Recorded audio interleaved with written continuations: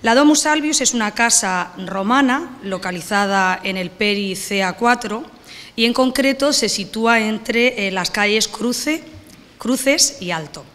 Es una vivienda que se excavó ya en el año 2003 dentro de aquellas eh, intervenciones, excavaciones arqueológicas que se realizaron para la construcción del barrio universitario y de la que se conserva en el sótano y la planta baja del edificio que se construyó para eh, su musealización y para su puesta en valor.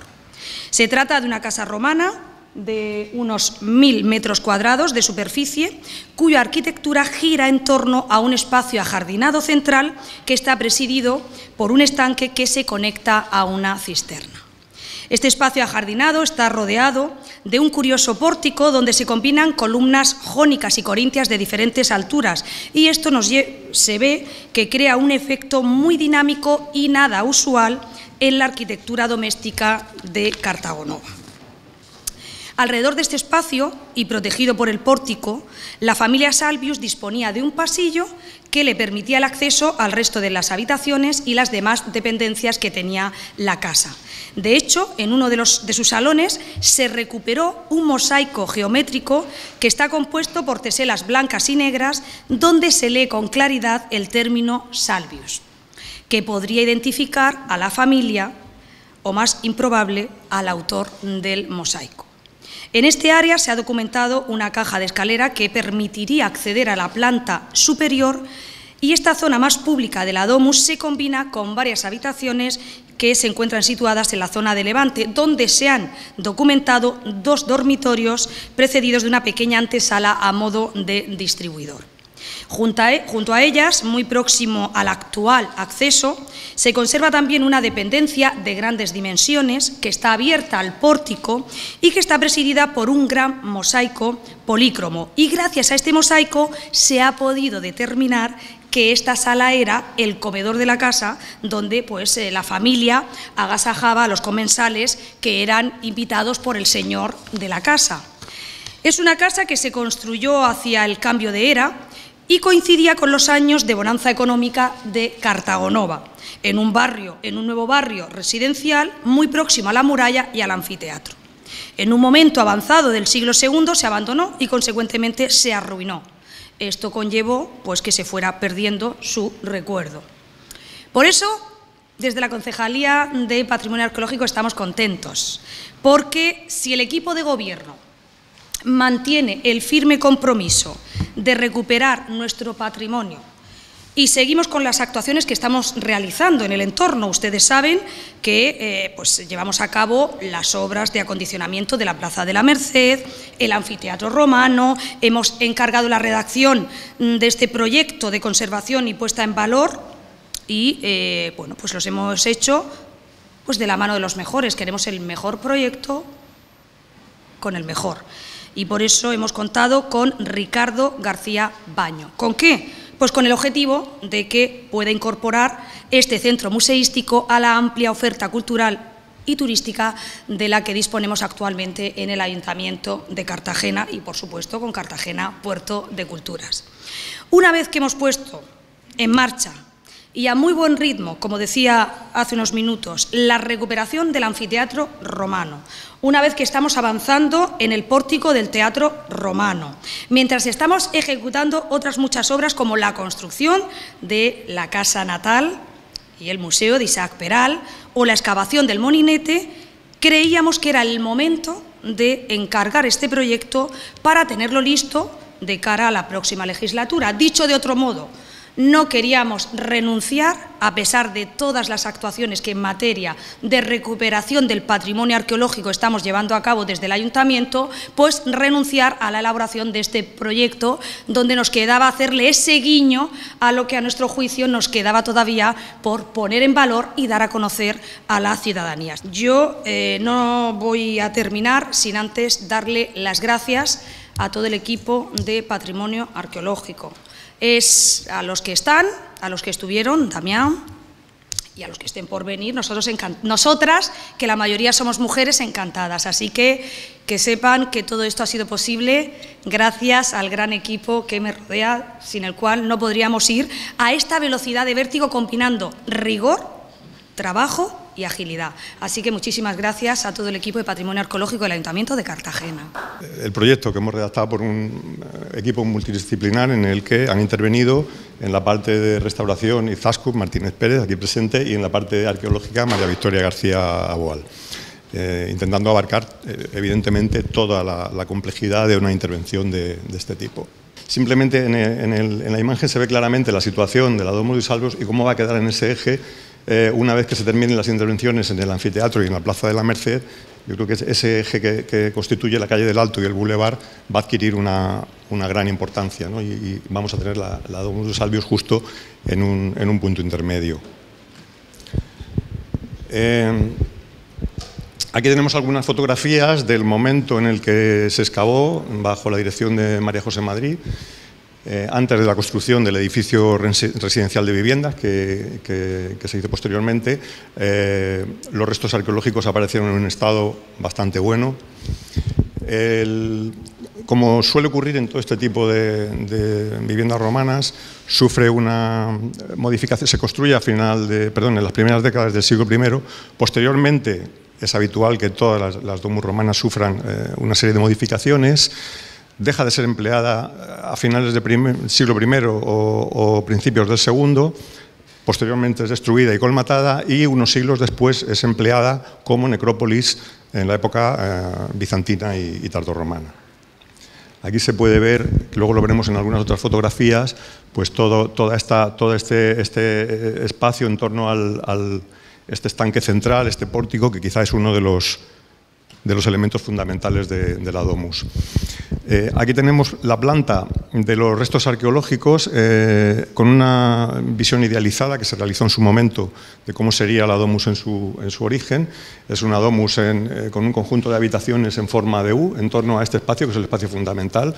Un, espacio de, patio abierto que consta con, con un estanque, un deambulatorio, con ese eh, pórtico que lo, que lo, rodeaba y luego las habitaciones que rodeaban al, pórtico.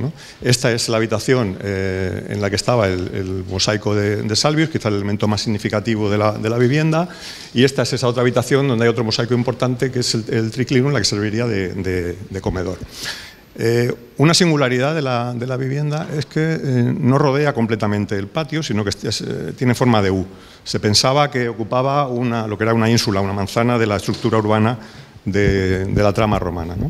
Y otra singularidad que tiene es que el, pórtico tiene como dos alturas, una altura en, los eh, lados principales y una altura menor, aquí se ve en las eh, secciones idealizadas, en el lado secundario. Y ahí sería la, la, imagen que hay arriba a la derecha, es la maqueta que se hizo en su momento para la exposición eh, que se hizo hace unos años sobre la, sobre la Domus.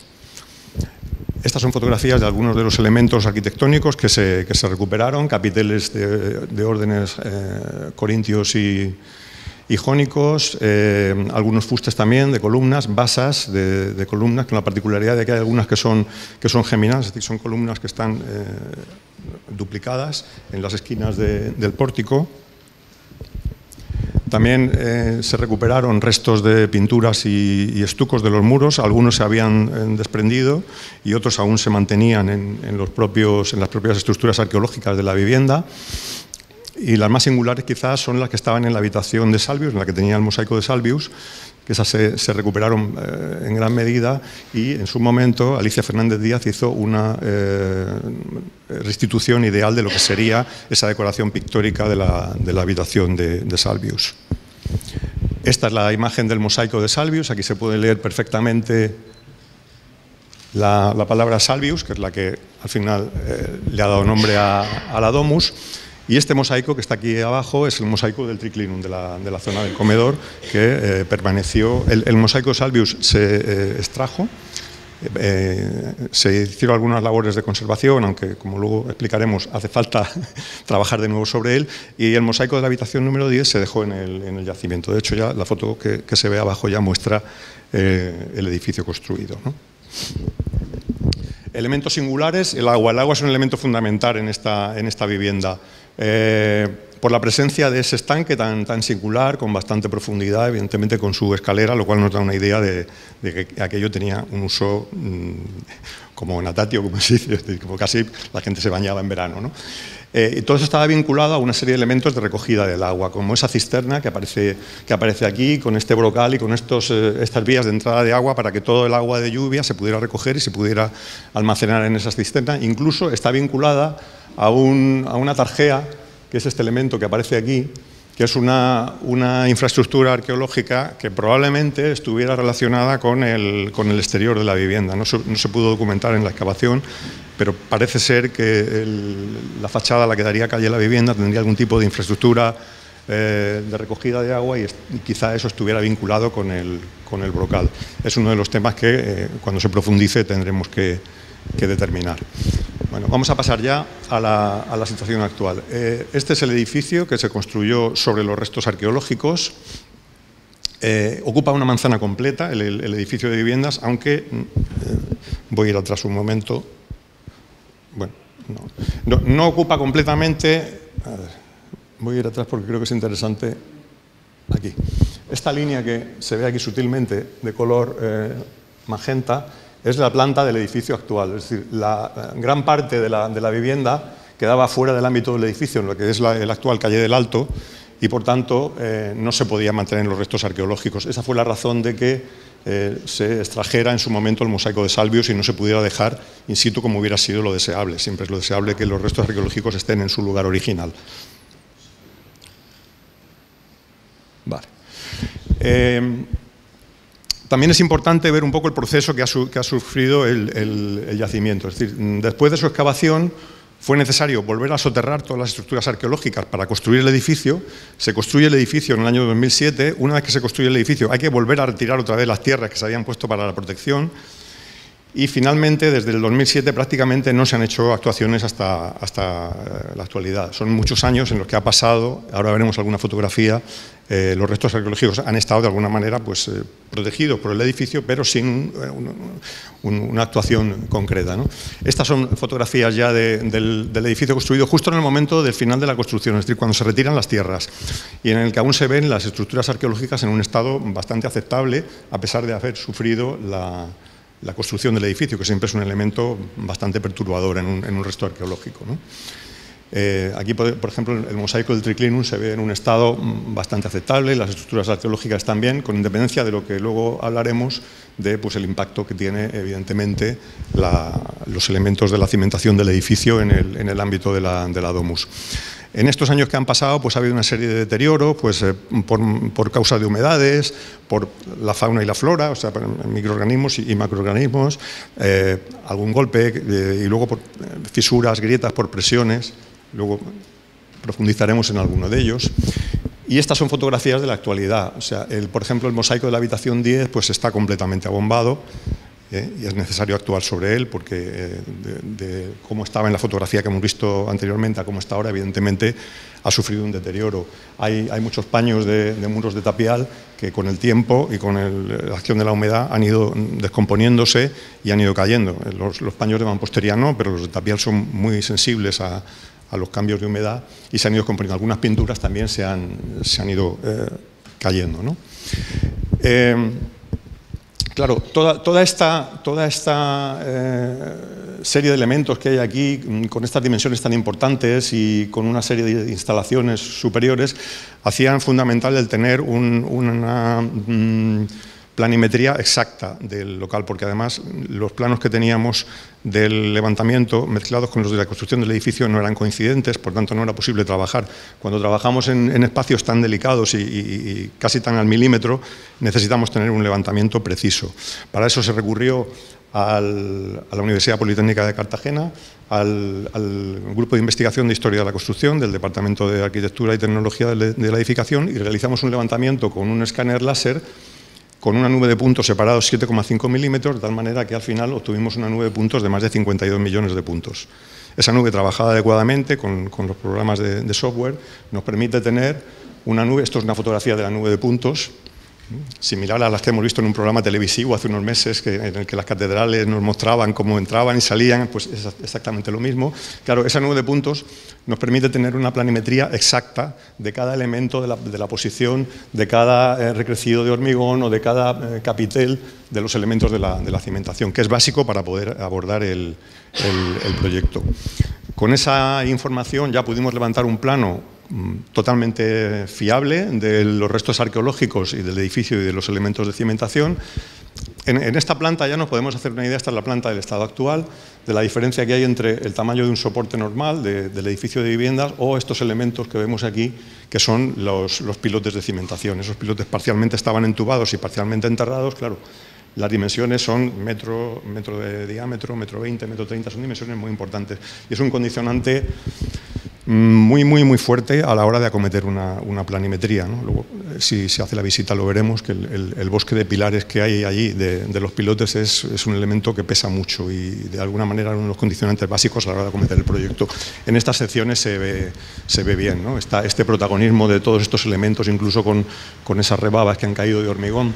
Y otro elemento que se había claro era el, tema de, trabajar los niveles, ¿no? el nivel de acceso eh, que es aproximadamente este de aquí, la, parte eh, digamos, del suelo original de la domus está a un nivel inferior y luego en la parte posterior, en la parte más cercana a lo que sería la, plaza del hospital, hay un, nivel, hay un nivel superior. Además, la domus cuenta con un, con un altillo que, eh, que, pertenece al edificio de viviendas, que está como tres metros por encima. Y claro, eh, es, eh, básico el, poder eh, hacer una visita absolutamente accesible. Es decir, una de las ideas básicas es que se pudiera visitar toda la Domus sin subir un peldaño, siempre con, elementos en, rampa, con eh, pendientes adecuadas a la, a la accesibilidad. Además, había condicionantes en eh, la, necesidad de consolidar las tierras. O sea, veremos luego alguna fotografía. Hay en algunos paños que tenemos hasta dos metros de altura de las tierras originales que se han ido degradando con el, con el paso del tiempo y eso es fundamental consolidarlo porque si no se nos están desmoronando sobre las estructuras arqueológicas. Eh, es una de las primeras actuaciones que, que, habría que acometer. Y luego también hay unos problemas de acceso de aguas freáticas por el subsuelo, sobre todo en esta zona, en esta zona de aquí posterior, que también tenemos que solucionar con una serie de, estructuras de, drenaje. Aquí vemos eh, algunos de los elementos que he dicho, ¿no? el, impacto de, todos estos elementos de la, de la, cimentación eh, colocados sobre las estructuras arqueológicas o de los elementos de instalaciones. Estos paños que he comentado antes, de, tierras. Este, este, es el estanque y este paño de tierras hace que se, estén desmoronando por, falta de, contención, evidentemente, porque la cimentación del edificio, las correas de atado están a un nivel superior y, hay un nivel importante de, desnivel. Bueno, con eso, eh, con todos estos condicionantes previos, las ideas básicas del proyecto eran, primero, protagonismo absoluto de los restos arqueológicos. los protagonistas en el proyecto tienen que ser los restos arqueológicos, que además deben ser tratados con el máximo respeto, ¿eh? realizando todas las actuaciones necesarias de consolidación y de protección de todas esas estructuras arqueológicas. Otro tema fundamental era el, buscar la ubicación de reubicación del, mosaico de, Salvius. Eh, fundamental también intentar minimizar de alguna manera el impacto visual de todos esos elementos de cimentación tan fuertes que tiene el edificio. Eh, y, proporcionar, es una cosa que a mí siempre me ha preocupado mucho en, este tipo de actuaciones, proporcionar al visitante una sensación de que está visitando una domus realmente, que no está visitando unos restos arqueológicos que hay en un sótano de un edificio, sino que está entrando a una domus. Esa es una de las cosas que a mí siempre me ha preocupado. Eh, también hemos, hemos pensado en incorporar eh, a la visita pues, las nuevas tecnologías, eh, pensando en, que se puedan, eh, aparte de audiovisuales o proyecciones, pues utilizar técnicas de videomapping o técnicas más actuales que nos permitan el, incorporar esos elementos ya que disponemos de ellos a la, a la visita. la organización el acceso se mantiene por la, por, la zona eh, de la parte más alta de la calle del Alto, aprovechando que esta escalinata impide que haya tráfico, aquí queda una, plaza que es el sitio ideal, eh, además es donde está la puerta ahora mismo, eh, porque puede permitir la estancia de un grupo sin peligro de interferir con el tráfico que sube por la calle del Alto. A partir de ahí, tenemos una primera zona de, recepción donde está la, acogida de visitantes o, la información. Y em, de esta zona de recepción pasamos ya al, inicio de la visita. Esta zona que vemos aquí es una zona que queda con una altura muy baja, porque encima está el altillo del edificio de viviendas y entonces se ha aprovechado para colocar los elementos secundarios como aseos, almacenes o locales de instalaciones a partir de aquí eh, comenzamos la visita. Comenzamos la visita atravesando el túnel del tiempo. Es decir, este elemento es un túnel cerrado a los dos lados y que nos lleva 21 mm, siglos atrás. arrancamos en el siglo XXI y cuando bajamos por una, rampa suave hacia el pórtico de la vivienda, estamos ya inmersos en el siglo I. La visita, como digo, eh, tiene una suave rampa y a partir de ahí comenzaríamos a eh, realizar la, visita de la, vivienda. Creo que en la, diapositiva siguiente lo vamos a ir viendo mejor. Eh, accederíamos al, nivel del pórtico. Siempre los recorridos de la visita se han realizado aprovechando los recorridos original de la Domus. Es decir, los espacios de circulación, como serían los espacios perimetrales al pórtico, se siguen manteniendo como elementos de circulación a nivel a nivel del, suelo original de la vivienda. No hay estructuras arqueológicas, por tanto, lo mantendríamos simplemente en el punto en el que la tarjeta cruza, pues colocaríamos un pavimento de vidrio para que el visitante pueda observar esa, estructura hidráulica. A partir de ahí tendríamos acceso al, mosaico de Salvius, que quedaría colocado aquí, siempre a nivel, al mosaico del comedor, que también estaría a nivel, y a estas estructuras, y seguiríamos avanzando por el pórtico, en el que podríamos ver la cisterna, el, estanque, el resto de las habitaciones y la zona eh, que era más noble de la vivienda, donde estarían la, habitación central con los dos oecus. Aquí estaría el de Salvius, que evidentemente está ahora mismo en la calle del Alto y no lo podríamos ver. Llegados aquí, eh, además, para dar la sensación de que realmente esto es un espacio abierto, todo lo que correspondía al patio, vamos a colocar una fotografía de un cielo de Cartagena retroiluminado, para que sea un cielo lo más similar al que tuviera la, vivienda en su, en su, origen, de tal manera que además ahora, se consiguen unos efectos estupendos con ese tipo de, fotografías y realmente la sensación de estar en un exterior es, evidentemente no es igual estar en un exterior que tener una fotografía, pero es bastante real. Eh, otra cosa que vamos a hacer es colgar eh, todos los capiteles que hay recuperados, los vamos a colgar del falso techo exactamente a la altura que estaban en, en la domus. O sea, que van a estar en su posición exacta como estaban en, su colocación original en, la domus.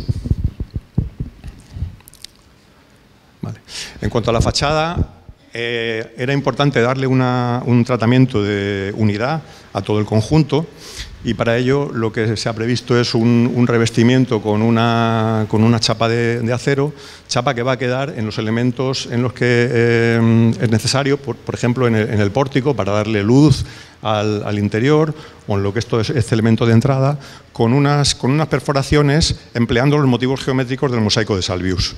Todos esos motivos con triángulos o con pequeños arcos son los que están, no se ve eh, por, la resolución del, proyector, pero son todos los que están eh, empleados aquí en estos elementos de, microperforación de la, chapa.